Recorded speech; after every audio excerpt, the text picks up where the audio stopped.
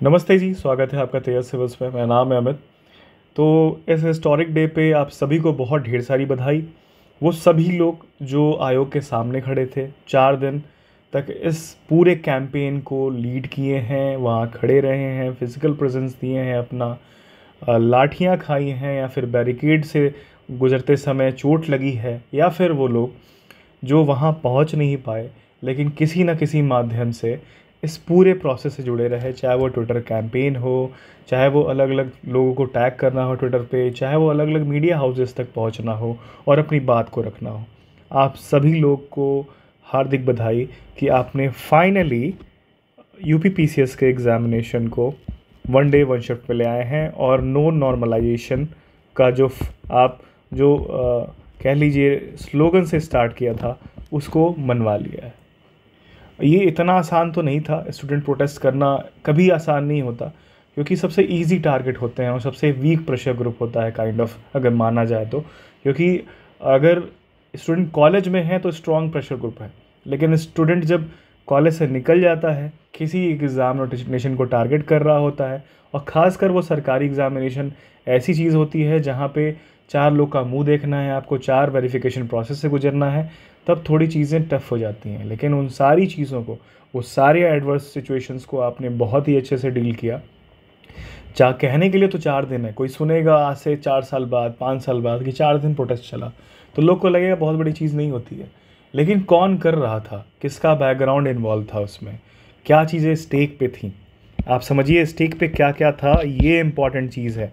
आप farmers protest को compare कई लोग बोलेंगे कि फार्मर्स प्रोटेस्ट या फिर कोई और तरह के लोग, है ना? वो लोग का स्टेक बहुत कुछ नहीं था, लेकिन आपका पूरा करियर इन्वॉल्व था। बहुत ढेर सारे लोगों को जो एलआईयू है या पुलिस है, मैंने सुनने में आ रहा था कि घर पे भी पहुँची थी और प्रेशराइज कर रही थी कि इस तरह के प्रोटेस्ट से ना इन्वॉल्व हों। तो वो भी चीज़ें बहुत कुछ था इन्वॉल्व आपका खुद का करियर ये ध्यान रखा जाए कि पुलिसिंग अब कितनी चेंज हो चुकी है। पुलिसिंग अब चेंज हो चुकी है इस तरह से कि अलग अलग मतलब तरीके से आपको प्रेशर क्रिएट किया सकता है सीसीटीवी कैमरा फुटेजेस हैं ड्रोन्स हैं ड्रोन फुटेजेस हैं, आपके एल आई के पास कैमरा है एंड ऑल दोस्त आराम से घुस जाते हैं वो। और वो चीज़ यूज़ भी की गई। आज सबसे ज़्यादा यूज़ की गई, आज सबसे ज़्यादा परेशान किया गया, आज सबसे ज़्यादा प्रेशराइज़ किया गया, आज सबसे ज़्यादा तोड़ने की कोशिश की गई और अलग अलग तरीके से। पर आप सभी लोग खड़े रहे, डटे रहे और अपनी बात को मनवाने के लिए अलग अलग माध्यम का यूज़ किया, चाहे वो लड़का हो, चाहे वो लड़की हो कोई चीज़ सामने नहीं आई, चाहे वो कोई कास्ट क्रीड सामने नहीं आए चाहे वो रिलीजन बेसिस सामने नहीं आया। आप सभी ने एकजुट होकर जो चीज़ दिखाई है, वो आगे के लिए प्रेसिडेंट सेट की है। ना सिर्फ़ स्टूडेंट मूवमेंट ना सिर्फ़ कॉम्पिटिटिव मूवमेंट्स के लिए कॉम्पिटिटिव एग्ज़ाम के मूवमेंट्स के लिए irrespective of movement irrespective of issue आपने ये शो किया है कि अपनी बात मनवाने पे आ जाए तो मनवाया जा सकता है। ठीक? तो ये चीज़ बहुत ही इंपॉर्टेंट रही। और जिस तरह से प्रोटेस्ट शाम को टर्न अप या फिर कह लीजिए कि इवेंट्स जैसे टर्न आउट हो रहे थे वो बड़े इंटरेस्टिंग हो गए थे। और लास्ट में आके सचिव जी आए आपके U P P S C के डीएम साहब आए इलाहाबाद के प्रयागराज माफ़ कीजिएगा। और फिर सी पी तरुण गाबा जी भी आए। और उन्होंने अपनी बात कम्युनिकेट की और उन्होंने बताया कि अ, कि अ, जो नॉर्मलाइजेशन है वो प्रोसेस अब इन्वॉल्व नहीं रहेगा यू पी में। यू पी एक दिन में कराया जाएगा एक शिफ्ट में कराया जाएगा। और साथ ही साथ उन्होंने एक इन्फॉर्मेशन ऐड की कि R O A R O prelims जो है, उसको करवाने के लिए हम एक कमेटी गठित करेंगे। उस कमेटी वो जो कमेटी है, वो स्टडी करेगी सारी चीज़ों को, सारे एंगल्स को, और उसके बाद जब वो रिकमेंडेशन दे देगी, तब हम डिसाइड करेंगे क्या करना है उसके साथ एग्जामिनेशन के साथ। तब तक के लिए अनिश्चितकालीन वो एग्ज़ाम टाल दिया गया है। अब वो जब एग्ज़ाम जब ये जितना भी अनाउंसमेंट हो गया शाम को, जब हमें ये मालूम चल गया कि यूपी एस जो एग्ज़ामिनेशन है, उसमें नॉर्मलाइजेशन नहीं होने वाला लेकिन उसके साथ ही पेंडोरा बॉक्स खुल गया। अब इसको ये कहना सही रहेगा कि नहीं कि ये जीत हुई है, कितनी जीत हुई है? तो एक आधी जीत हुई है, कह लीजिए। जो दो एग्ज़ामिनेशन के लिए प्रोटेस्ट इन्वॉल्व था एक आर ओ आर ओ दूसरा U P P C S लेकिन एक में ही गवर्नमेंट और कह लीजिए U P P C S मानी है U P P S C मानी है कि U P U P P C S में नॉर्मलाइजेशन नहीं होगा। उसी के साथ ये नोटिस भी आया। नोटिस देखने लायक इंटरेस्टिंग चीज़ ये है कि इसमें कहीं भी ये तो बोला गया है कि एक शिफ्ट में होगा, लेकिन कहीं भी नोटिस में ये नहीं बोला गया है कि एग्जामिनेशन पोस्टपोन हो रहा है राइट तो ये भी बड़ा एम्बिगुअस सिचुएशन पे छोड़ दिया है। जितने लोगों ने भी आए थे बाहर, है ना? जो गवर्नमेंट को रिप्रेजेंट कर रहे थे आपसे बात करते समय। दूसरा नोटिस इन्होंने एक और दिया आर ओ आर फिल्म्स के लिए। उन्होंने ये तर्क दिया है कि भाई मोर देन टेन लैक्स जनता इन्वॉल्व है तो इसको जिस तरह से हमें अच्छे से करवाना, पारदर्शिता गुणधर्मिता शुद्धतापूर्व ढंग से कराने के लिए, हमें सारे प्रोसेस को, सारे तथ्यों का समेकित अनुसंधान, विश्लेषण करने हेतु समिति गठित करनी पड़ेगी और वो समिति जल्द से जल्द देगी, उसके बाद हम डिसाइड करेंगे कि ये एग्जामिनेशन होगा।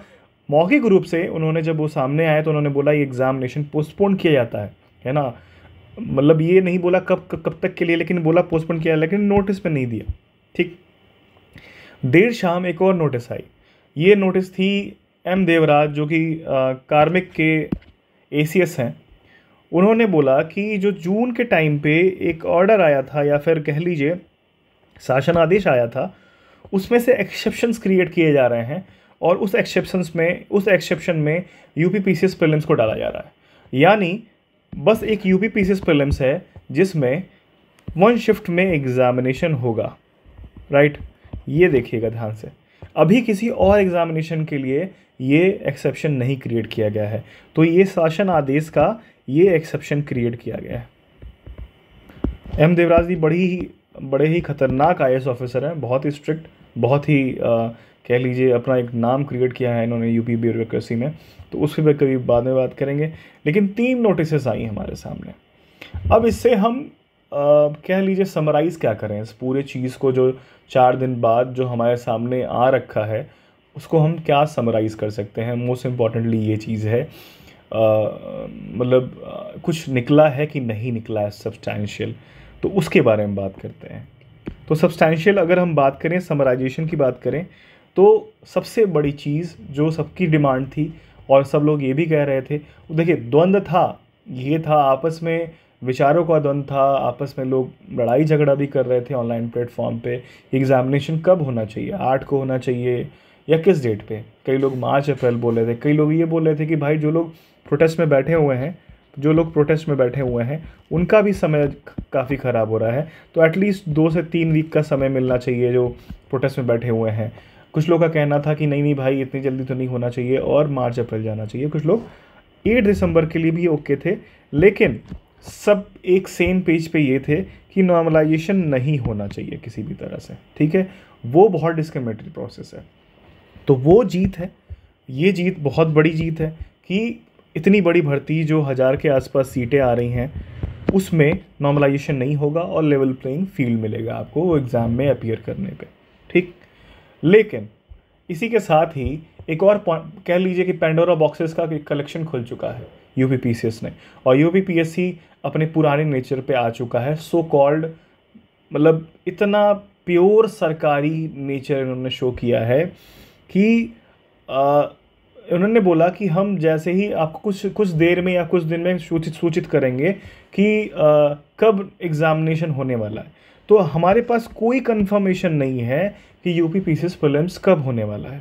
तो पेंडोरा बॉक्स ये खुल गया कि वहाँ जितनी भी बातें हो रही थी डीएम साहब बोल रहे थे सचिव जी बोल रहे थे उसमें क्लैरिटी कहाँ खोला खोजा जाए उसमें? कि उसमें लूप होल्स भी तो हैं कई उसमें बिग गैप्स भी तो हैं क्वेश्चन के लिए कि वो ये एग्ज़ामिनेशन आठ दिसंबर को हो रहा है कि बाईस तेईस को जो डेट रखी गई थी आर ओ, यार प्रिलिम्स के लिए, उस डेट पे वन शिफ्ट में, यानी 22 दिसंबर को हो रहा है। कुछ लोग का कहना है कि ये 29 दिसंबर को हो रहा है और कुछ लोग जो और भी बुद्धिजीवी लोग हैं, वो लोग कह रहे हैं कि ये मार्च या अप्रैल में जाने की उम्मीद है। तो ये फिर से पेंडोरा बॉक्स खुल गया है। गवर्नमेंट इसमें बहुत जो लीस्ट कर सकती थी, वो ये बोल सक एटलीस्ट ये बोल सकती थी कि हम फला फला टाइम फ्रेम में कराने की कोशिश कर रहे हैं, ठीक? इतना बोल सकती थी। और फिर फर्दर नोटिस या फिर मंडे को या फिर ट्यूसडे को जब भी वो ऑफ़िस खुलता उनका तो उस फर्दर कम्युनिकेट करते नोटिस के द्वारा। लेकिन कुछ नहीं है हुआ ऐसा, ठीक? दूसरी चीज़ ये है कि अगर ये चीज़ कंफर्म नहीं है तो आप क्या करने जाओगे? आपका क्या रास्ता होने वाला है? आप फिर से नहीं चूज़ कर पाओगे। आप प्रीलिम्स के लिए पढ़ो, आप मेंस के लिए पढ़ो, आप यूपीएससी के लिए पढ़ो। इतने दिन जो ख़राब गए हैं तो आप टोटली वन टारगेट करके आप बीपीएससी को टारगेट करो। ये भी प्लान हो सकता है। लेकिन नहीं नहीं, आपको कहीं का नहीं छोड़ा जाएगा, क्योंकि आपने गलती कर ली यू पी यू पी को देने की सोच लिया आपने, ठीक? तो इतना मतलब वही हाथ पन्ना कहाँ से आ सकता है, मुझे समझ नहीं आता कि कुछ तो कुछ तो भाई मतलब इतने लोग परेशान थे, इतने लोग, आप आप ईगो सेटिस्फाई कर रहे हो क्या उनके साथ? आप ये दिखाना चाहते हो क्या कि तुमने हमें रोड पे खड़ा कर दिया तो हम तुमको परेशान करके दिखाएँगे? या फिर आप स्लोगन्स का बदला ले रहे हो? किस चीज़ का बदला ले रहे हो? क्या है ये? कुछ कहीं से भी क्वेश्चन डील हो रहा है ये? कुछ चीज़ें डील हो रही हैं? और सबसे बड़ी बात, जो सबसे बड़ा क्वेश्चन डाला गया है यूपी, आर ओ आप सोचिए, दस लाख के करीब लोगों ने फॉर्म भरा है। ये काइंड ऑफ़ क्लर्कल एग्जामिनेशन है, लेकिन गैजेट पोस्ट के लिए है। हिंदी मीडियम के बच्चों के लिए ये गोल्डन अपॉर्चुनिटी होती है कि आर ओ आर ओ का प्रिलिम्स क्लियर करें या फिर आर ओ आर ओ का एग्जामिनेशन क्लियर करें और वो एक अच्छी रिस्पेक्टेबल पोस्ट पाएँ जिसकी लोकेशन अच्छी है राइट लेकिन ये गवर्नमेंट या फिर कह लीजिए कमीशन इसकी चीज़ के लिए अभी तैयार नहीं है कि इसको एक दिन में होने दिया जाएगा। तो उसके लिए अभी कमेटी बनेगी, कमेटी की रिकमेंडेशन आएगी, फिर उसको देखा जाएगा कि क्या करना चाहिए, क्या नहीं करना चाहिए। यानी ये फिर से एक आंदोलन खोज रहे हैं, आर ओ आर ओ वालों से अलग से, है ना? अभी के लिए डिफ्यूज़ करने के लिए इन्होंने अलग अलग दे दिया तो हो सकता है दोनों मतलब इनका ये था कि दोनों देने वाले होंगे तो भाई अभी भी यू पी के लिए उनको खुश कर दिया जाए हाफ़ वे में, और फिर आर ओ का बाद में देखा जाएगा। तो इन्होंने ये कर दिया। तो अभी कुछ कंफर्मेशन नहीं है आर ओ आर ओ के लिए, कब, कैसे, किस दिन, क्या फॉर्मेट में हो रहा है, ये जान लीजिए राइट अब मेरे साइड से जो अब क्या बात कर सकते हैं कि अगले कुछ दिनों में क्या करें? मतलब क्या हमें क्या करना चाहिए? क्या प्रोसेस हमारा होना चाहिए? तो बहुत आगे की बात करने का कोई मतलब नहीं है। चांसेस ये हैं कि मंडे या फिर ट्यूसडे को आप एक नोटिस एक्सपेक्ट कर सकते हो यूपीपीएससी से कि यू पी प्रिलिम्स किस डेट पे हो रहा है। अगर वो प्लान कर रहे हैं नेक्स्ट कुछ दिनों में कराने के लिए। नेक्स्ट कुछ दिनों का मतलब ये नहीं होता कि मैं आठ बोल रहा हूँ राइट मैं क्लियरली कैटेगोरिकली बोल रहा हूँ तो मुझे मिस इंटरप्रेट मत कीजिएगा। दूसरी चीज़ कि हम खाली हाथ नहीं बैठ सकते। जो टाइम चल रहा है, जो सिनेरियो चल रहा है एग्जामिनेशन बहुत दूर मेरे हिसाब से नहीं जाना चाहिए। तो अगर मैं नेक्स्ट थ्री डेज़ की बात करूँ, है ना? Next just three days Friday Saturday Sunday की बात कर रहा हूँ मैं।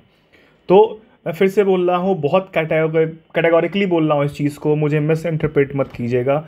हमें अगले तीन दिन आठ दिसंबर ही मान के प्रिपरेशन करना चाहिए कि आठ दिसंबर को प्रिलिम्स हो रहा है।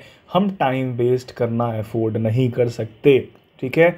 आप जो भी प्लान करें, जैसे भी प्लान करें, आप छः घंटे करंट अफेयर पढ़ो, कोई टफ चीज़ पढ़ लो, कोई ईजी चीज़ पढ़ लो उसके साथ, उसका मायने नहीं रखा है अभी। अभी उस पर डिस्कशन नहीं हो रहा है। लेकिन अगले तीन दिन should be bloody in war mode है ना? वो वॉर मोड में जाइए आप। तीन दिन में चीज़ों को ब्रशअप कीजिए। जितना हो सके जो प्रोटेस्ट कर रहे थे, जो प्रोटेस्ट नहीं कर रहे थे this is no other way out हमें नहीं पता है क्या होने वाला है राइट तो हमें इसी तरह से मान के चलना चाहिए कि आठ को हो रहा है। मैं फिर से कह रहा हूँ उसका मतलब आठ को नहीं, इसका मतलब ये नहीं है कि आठ को ही हो रहा है, और मुझे कुछ पता है, मैं बता मतलब क्रिप्टिक भाषा में बोल रहा हूँ, नहीं। लेकिन चांसेस ये हैं कि दिसंबर में हो सकता है। अब दिसंबर में पॉसिबल किस डेट पे हो सकता है? तो there are two dates which are possible other than it is twenty two and twenty nine और मैं मैं अपने साइड से बस वो ये बोल सकता हूँ कि मैनिफेस्ट कीजिए कि दिसंबर में हो। हाँ मैं ये मानूँगा कि जो समय वेस्ट हुआ है इतने लोगों का आपको मेंटली आपने ड्रेन हुए हो जितना आपको मेंटली टॉर्चर किया गया है डायरेक्टली इनडायरेक्टली उस वजह से आठ को नहीं होना चाहिए। आ, मैं भी प्रे करूँगा लेकिन कोशिश अप, अपने साइड से कमीशन ये करें कि इन दोनों डेट्स पे एज अर्ली एज पॉसिबल लेने की कोशिश करें। क्योंकि उससे क्या होगा कि बहुत ढेर सारे लोगों का ना समय बर्बाद नहीं होगा। बहुत साल दो साल वैसे ही जा चुका है। अगर लास्ट फ़िल्म देखा जाए तो चौदह मई को हुआ था, दो हज़ार तेईस में। और अभी अगर हम दिसंबर की बात करें तो डेढ़ साल तो ऐसे ही चला जाएगा। तो होपफुल रही है है ना? होपफुल रही है, लेकिन जो ये बात बोली है ना मैंने अगले तीन दिन के लिए तो मेरे साइड से यही है है ना? आप, आपका डिसीज़न है कि आप क्या प्लान कर रखे हो अपने लिए, वो अलग चीज़ है।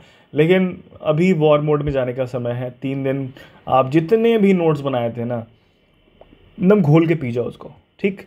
और फिर से मैं बोल रहा हूँ इसका मतलब ये नहीं है कि आर्ट को हो रहा है। तो पैनिक मत कीजिएगा इस वीडियो को देख के या फिर कुछ कमेंट सेक्शन में इस तरह से बोलने लगिएगा कि मुझे आ, इस तरह से पता है कि मैं आर्ट को करवाना चाहता हूँ। नहीं दोस्त ऐसा कुछ नहीं है। मैं बस तीन दिन क्या करना चाहिए वो बता रहा हूँ। बाकी आप सभी को बधाइयाँ कि आपने ये प्रूव कर दिया कि इस दुनिया में बहुत कुछ अचीवेबल है। बस साथ खड़े होने की देरी होती है। सही लोग सही जगह पे जब सब साथ आते हैं ना तो बहुत कुछ अच्छा हो सकता है। और आपने ये प्रूव किया है कि बहुत अच्छा हुआ है है ना? सब लोगों को बिलीव कराया है कि आप एक अच्छे कॉज के लिए सिविल सर्वेंट्स बनना चाहते हो। So thank you for that है ना? और kudos for that thank you for watching this video